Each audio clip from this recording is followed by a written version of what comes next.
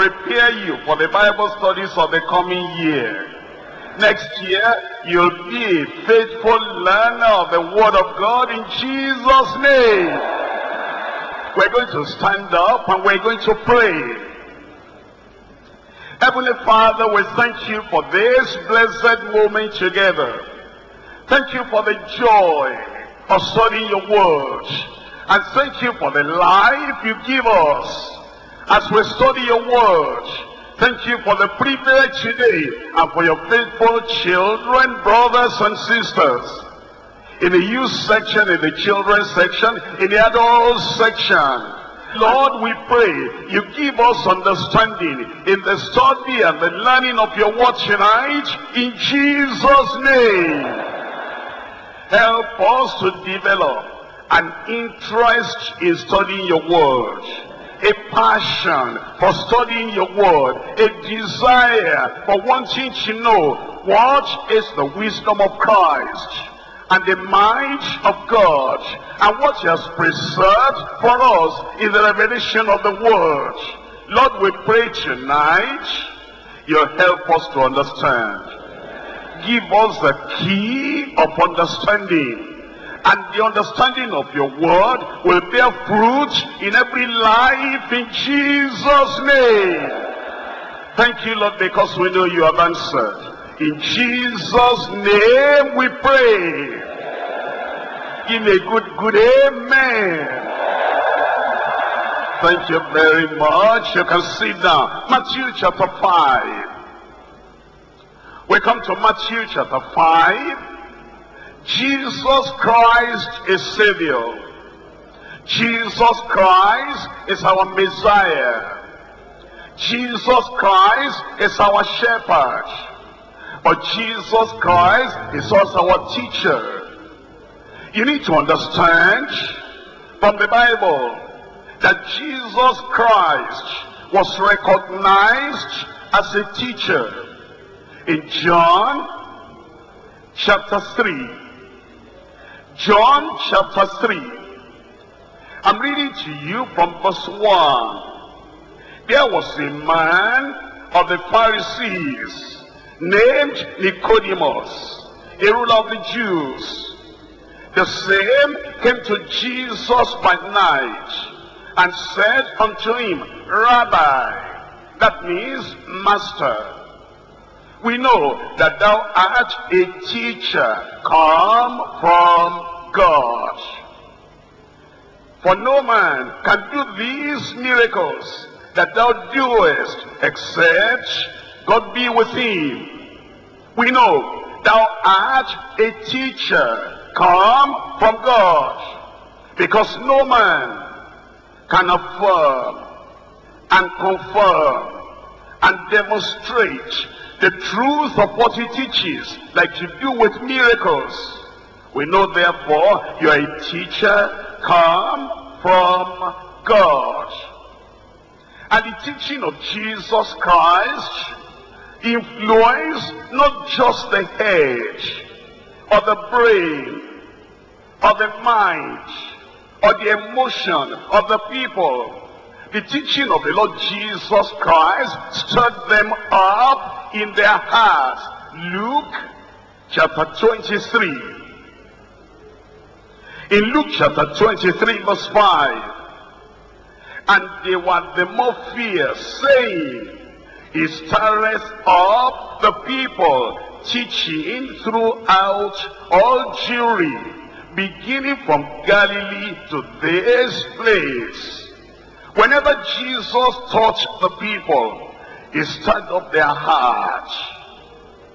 He aroused their minds that they will want to serve the Lord by the teaching that he gave them. And his method of teaching was different from the teaching of the scribes and Pharisees. Matthew chapter 7. In Matthew chapter 7, reading from verse 28 and verse 29. And it came to pass, when Jesus had ended these sayings, the people were astonished at his doctrine, for he taught them as one having authority and not as the scribes. You will see then that Jesus was a master teacher. He was a teacher like no other teacher. And it's the teaching of Christ we're looking at tonight. Matthew chapter 5 verse 16. Let your light so shine before men that they may see your good works and glorify your Father which is in heaven. Actually, Jesus had been teaching what is called the Beatitudes. Because he said in verse 3, Blessed are the poor in spirit, the lowly in spirit. Woe unto the proud in spirit, but blessed are the poor in spirit, the humble in spirit. For theirs is the kingdom of God. Blessed are they that mourn. The people that mourn where there is sin. Like Jeremiah, my eyes drop down of the tears because they do not obey your word like the psalmist. My weeping for my tears. They wet my bed every night because of the people that do not obey your word. Blessed are they that mourn. Woe unto them that laugh at iniquity. But blessed are they that mourn, for they shall be comforted.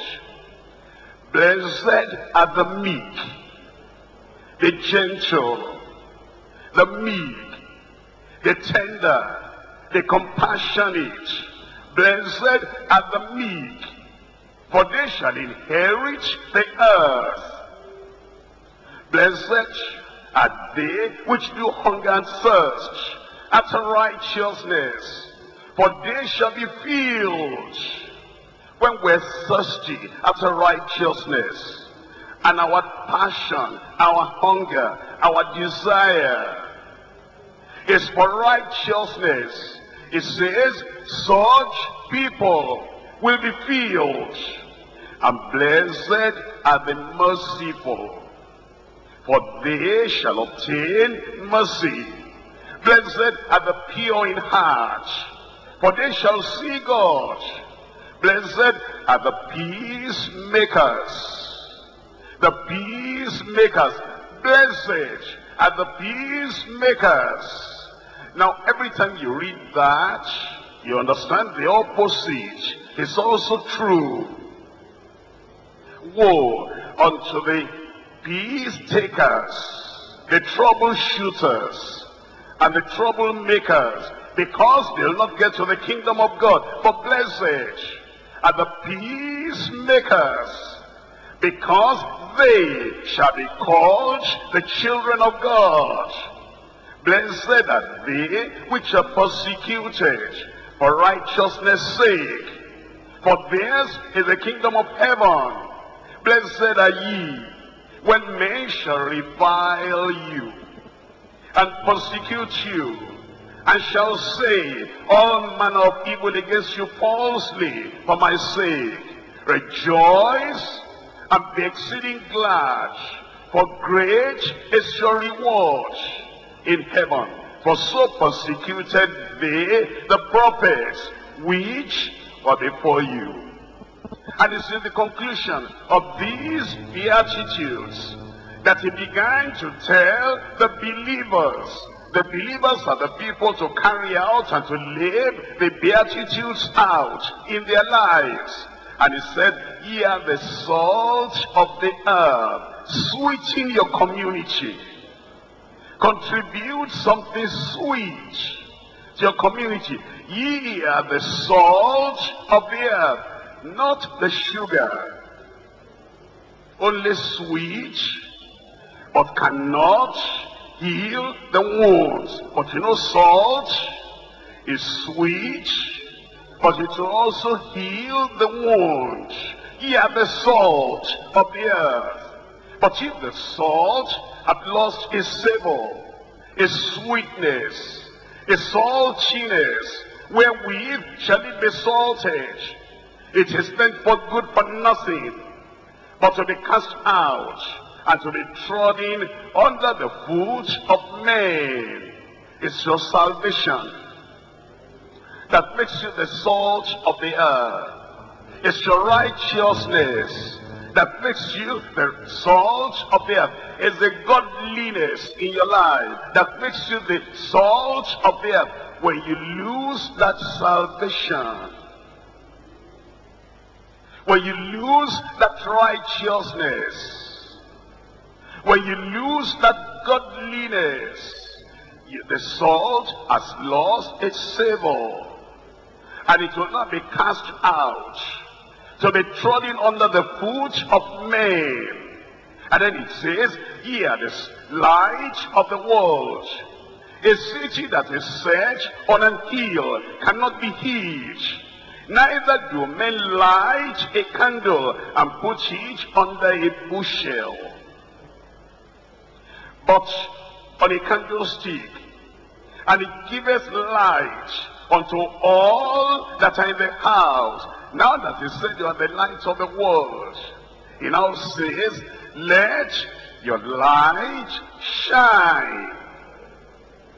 Let your light so shine before men that they may see your good works, not your bad works.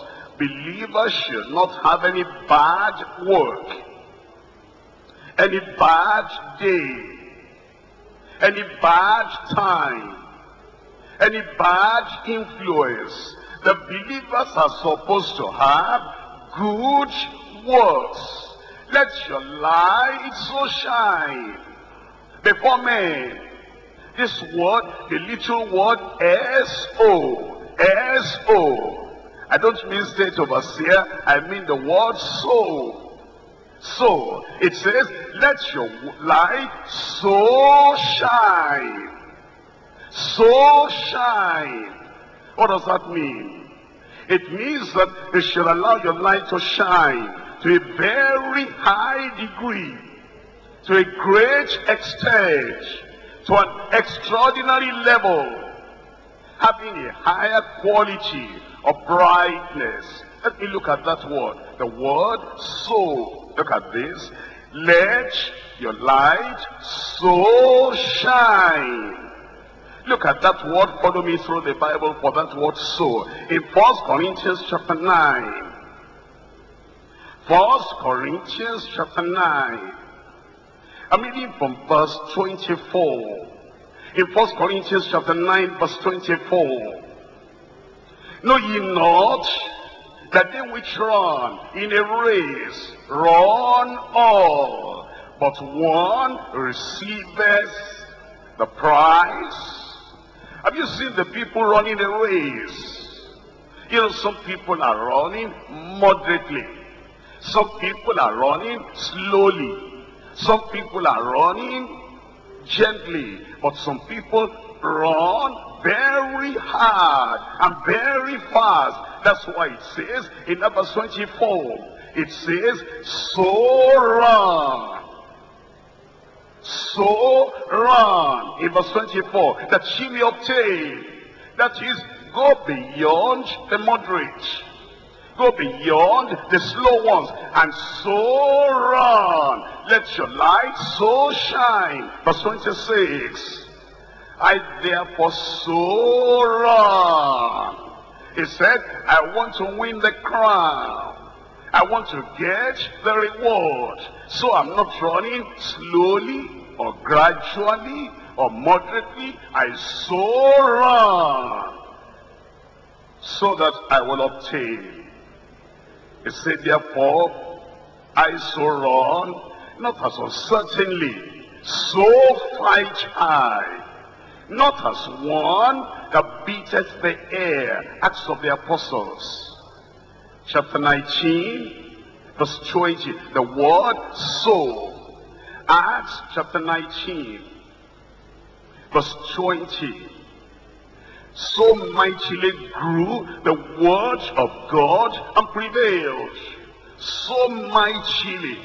You know, it could have said, the word of God grew and prevailed. Or it could have said, the word of God grew mightily and prevailed. But he said, the word of God grew so mightily and prevailed.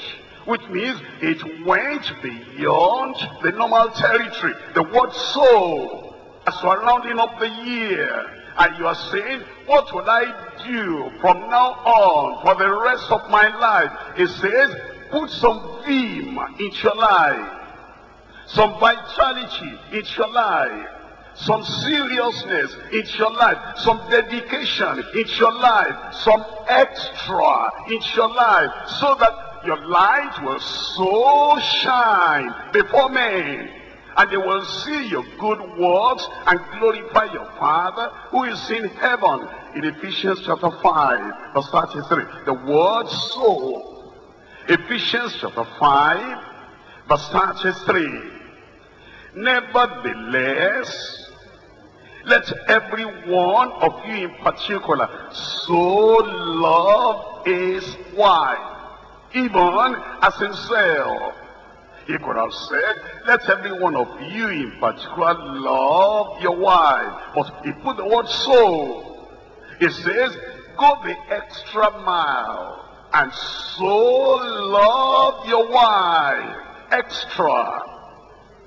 Go beyond the ordinary. Go beyond the normal. Go beyond the moderate. Let everyone in particular so love his wife as himself. And the wife see that she reverence her husband. In Hebrews chapter 12. Hebrews chapter 12. I'm reading from verse 1. Wherefore seeing we also are compassing